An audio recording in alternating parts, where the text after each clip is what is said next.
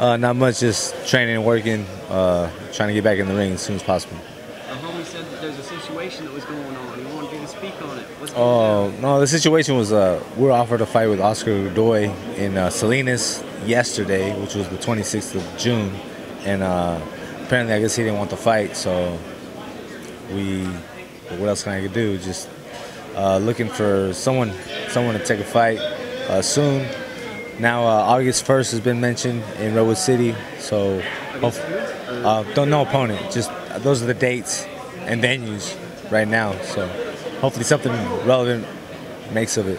so you signed the contract No, Oscar, no, you didn't sign it? no. What happened? So I mean, it, they call to see if I want to fight them. I say yeah, and then nothing happened from there. Oh, so like you were down to fight, but then not, no, nothing ever went beyond that. So Correct. You don't know what happened. Correct. Okay.